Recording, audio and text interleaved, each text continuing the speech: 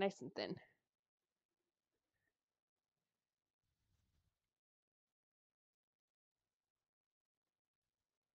I'm afraid for the sheer volume of cholesterol I know I'm about to introduce into Revenant's diet, but this is what he likes to eat, and he's a grown man, so it's his choice.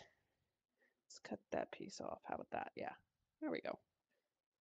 We'll just remove some of these fatty ends. Maybe I'll render them down, make a nice beef gravy out of them later. There we go.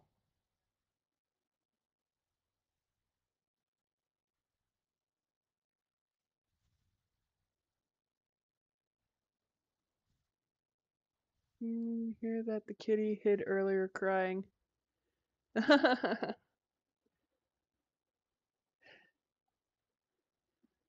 Beef sashimi, basically. That's basically what we're at right now. Maybe let this thin out, thaw out a little more than I like, but it should be fine. Just gonna try and get this cut up nicely.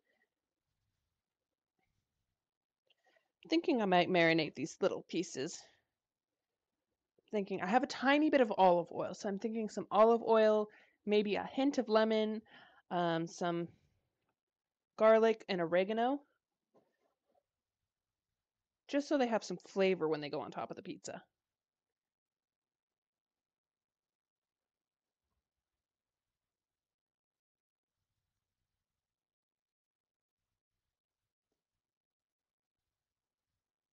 I can't remember what that is. There is a thing that's like beef sashimi where it's like blackened on the outside roughly, but then it's completely raw inside and it's thin sliced and served over rice.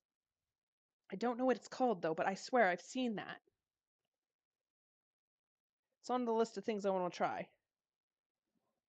My mom would love it. She loves raw beef.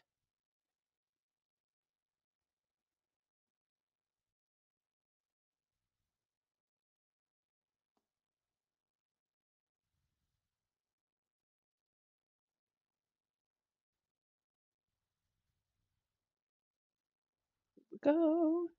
Beef sashimi.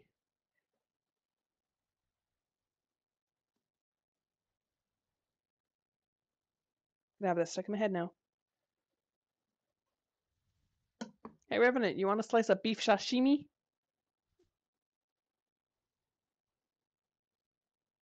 Okay, we're reaching the thawed out end. This part's squishy. Squishy.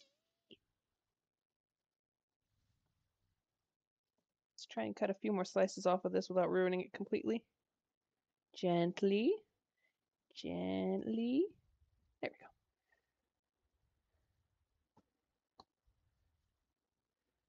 Hello, DC Zoe. I am fantabulous. I am cooking tonight. I'm making a steak pizza.